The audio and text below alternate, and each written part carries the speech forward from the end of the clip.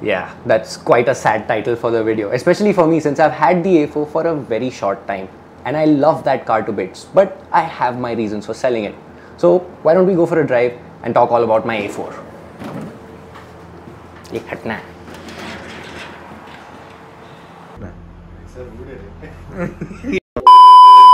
But Bhavneet, it's only been five months. How are you bored with the car already? Oh, I'm pretty sure he cannot maintain it. That's why he's going to just sell it off. Oh, I'm pretty sure the car is slow and whack and boring. That's why he's selling it off. Well, none of those are the reasons I am selling it off. I, being a content creator, want to create much more content for you guys. So I was thinking of buying something fresher and more relevant in order to create some content that you guys would enjoy to watch. Second reason is I like to be competitive at the Valley Run. Drag racing is something I genuinely personally enjoy doing and I would like my car to be competitive in that segment.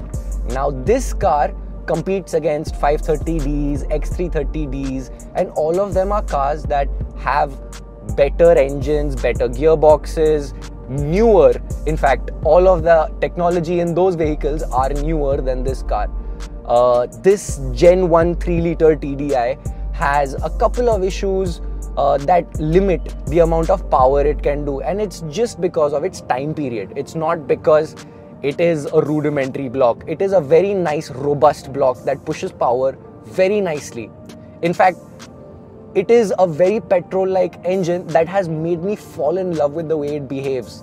It's very direct, and if you can omit the Audi like uh, lack of feedback from the steering wheel and a little bit of a lazy pedal, the car is very enjoyable to drive in the corners. In fact, this Tiptronic uh, gearbox is has a torque split that is 60-40 rear bias that makes it uh, very enjoyable to drive in the corners. In fact, it drives like it's on rails. My idea for the car was to add uh, underbody strut braces, a K brace in the rear, and basically make the car handle like a proper, proper canyon carver. But I still wouldn't be capable of competing against those X330Ds nor those 530Ds even if I spend that big chunk of stage 3 money that I should have or I would have planned on doing on this car. So, yeah, it is a bit of a heartbreaker that a car that I love, I have to get rid of just so that I can create more fresh content for you guys. And uh, yeah, I want to talk about a couple more things. I would like to talk about all of the things I've done to the car personally in order to bring it back to its former glory and how much I've spent on it. So let's just do a little recap of my journey with the car and uh, yes, then talk about what I'm selling it for. Till then, I'll enjoy the I'll enjoy the drive.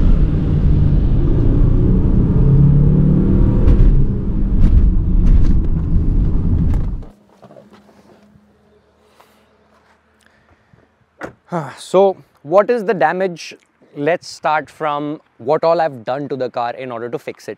Uh, I've gotten a complete suspension rehaul that was around 3 lakh rupees. I have refurbished the brakes, so new discs and new pads that was around 45,000 rupees. Then uh, the rims, one and a half lakh rupees, that also after discount. The tune cost me around 45,000 rupees and uh, the speakers cost me 50,000 rupees. Now what is left to do is getting the paint back up to its perfect finish and it's a little bit of the interior like the center console in the back and a little bit of uh, the trim which is going to be able to refurbish it and bring it back to its tight finish. So that's going to cost me around another 50,000 bucks. Considering all of that, that's around 7 lakh rupees rough give or take. And uh, yeah, including the car, it's cost me quite a bit.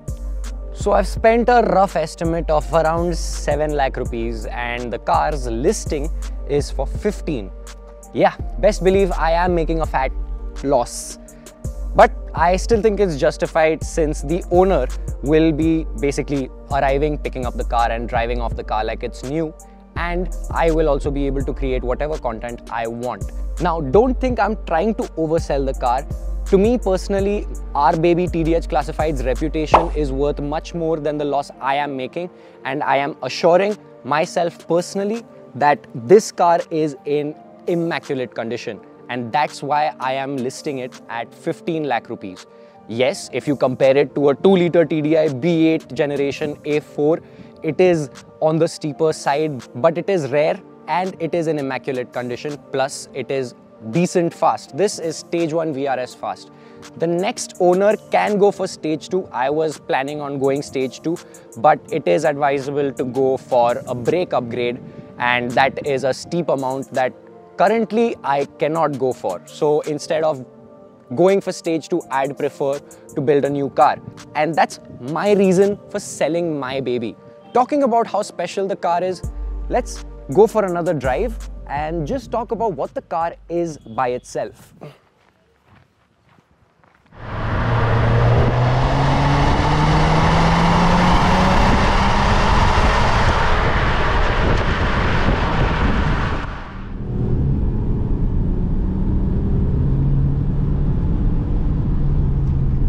new to the channel, this is my Audi A4. It's a 3 liter TDI V6 with a 6-speed Tiptronic gearbox and it is one of three in India because it is one of the three vehicles that came to India in 2010 for the Delhi Auto Expo.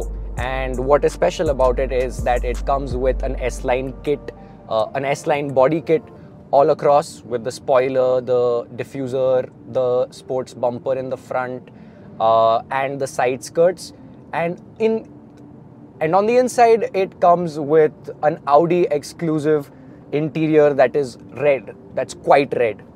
In fact I actually love the interior. I hated it because it was very gaudy in the beginning but it it's grown into me and I love it. I love it now. It's quite special.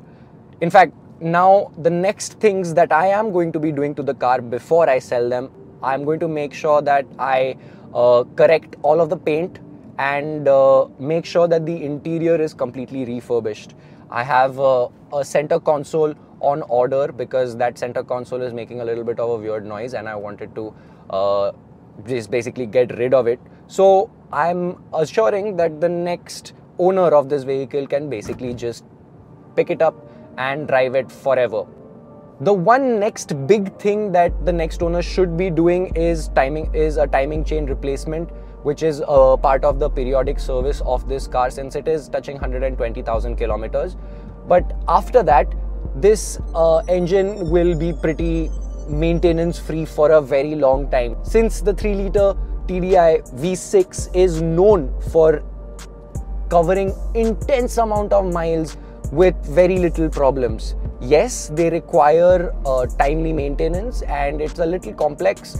However, if you are capable of maintaining the car, it is a robust block. It will just not give up on you. One thing that you guys don't know about this car and that hasn't been filmed is that I have put a stage 1 remap on it. So, uh, the Gen 1 3 liter TDI V6 comes stock with around 211 or 241 bhp depending on the type of car that you've got. And uh, my stage 1 remap now pushes that up to 300 or 310 bhp and uh, 600 newton meters of torque. So now we've got quite a bit of power and it's all delivered to all the four wheels. Still it is not up there with the BMWs that are uh, 2014s, 2015 uh, X330Ds or 530Ds just because the gearbox is a little slow. The amount of power that the engine can push out isn't as much as those on a stage 3 format or a stage 2 format.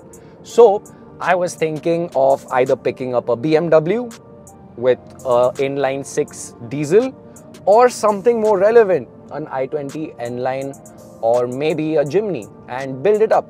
So that's going to be a decision to be done later after the car is sold. So if you're interested in the vehicle, do let me know or check out TDH Classifieds where the car is listed and you guys can get in touch with me. So uh, yeah, I am looking forward to the new owner to be someone who loves the car as much as I do and yeah, I'm pretty sad on letting her go. So on that bombshell, I'm going to let you guys go. Thank you so much for watching. Do let me know what are your thoughts on uh, my Audi A4 and would you pick it since it is up for sale now and it is so rare. So let me know what do you guys think about the A4 and what should I pick next. Do let me know in the comments down below. I'll see you guys in the next one. Bye bye. Peace.